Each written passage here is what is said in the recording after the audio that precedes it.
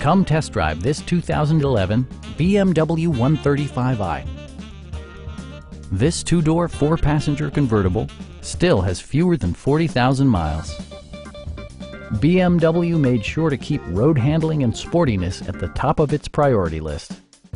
It features a standard transmission, rear-wheel drive, and a 3-liter six-cylinder engine.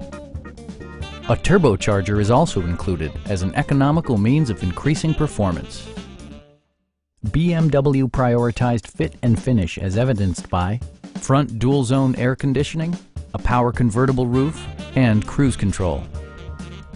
BMW ensures the safety and security of its passengers with equipment such as knee airbags, integrated rollover protection, and four-wheel disc brakes with ABS.